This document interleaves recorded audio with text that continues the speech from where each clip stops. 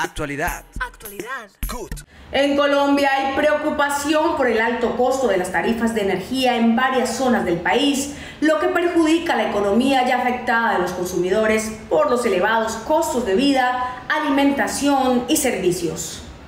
Según el reporte de inflación del DANE, en agosto los precios de los servicios se encarecieron el último año 6,74%, pero hay una particular en la energía eléctrica, ya que la variación anual del IPC de los servicios de electricidad para el octavo mes del año fue de 25,9%.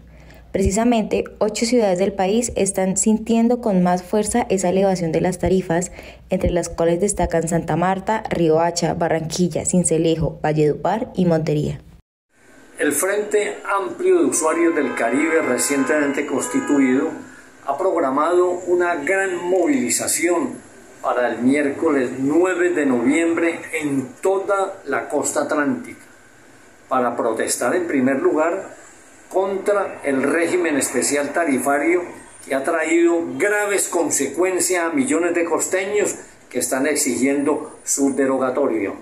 En segundo lugar, para solicitarle al gobierno nacional que constituya una mesa de concertación sobre el tema tarifario para esta importante región de Colombia. En tercer lugar, seguimos luchando contra los cobros ilegales de deudas viejas con Electricaribe que son impagables e ilegales.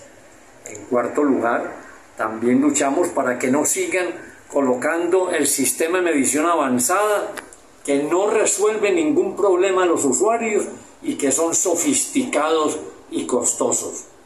Y por último, estamos exigiendo que la Superintendencia Nacional de Servicios Públicos cumpla su papel de investigar, de sancionar a las empresas de servicios públicos que violen la ley y las normas. Actualidad. Actualidad. CUT.